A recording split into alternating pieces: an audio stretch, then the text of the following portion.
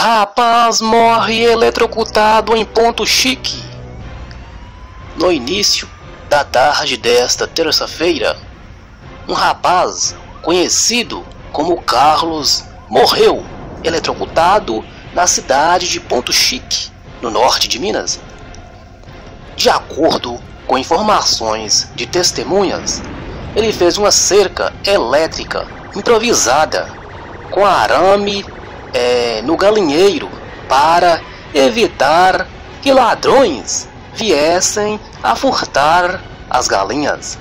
Porém, na data de hoje, acabou se descuidando e encostou na cerca energizada, vindo a tomar uma descarga elétrica, não resistindo ao choque e vindo a óbito no local. Ele morreu, né? Veio a óbito no local. Essa ocorrência é, se passou no bairro Novo Horizonte, na rua Ubaí. E o Brasil todo.